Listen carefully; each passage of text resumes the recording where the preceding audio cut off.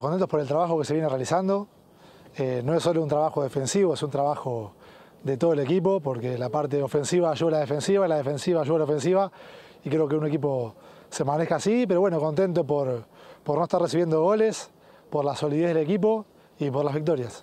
Tanto en la defensa como en cualquier otro puesto, saber que si no está un jugador, hay otro que lo puede reemplazar de, de igual manera, eso es muy importante y eleva, eleva el nivel de todos. Un rival difícil como todos los de este campeonato, Así que nosotros pensamos más, más, siempre se piensa en el rival, pero también pensamos mucho en nosotros, las cosas que hacemos bien, las cosas que hacemos mal y se pueden mejorar.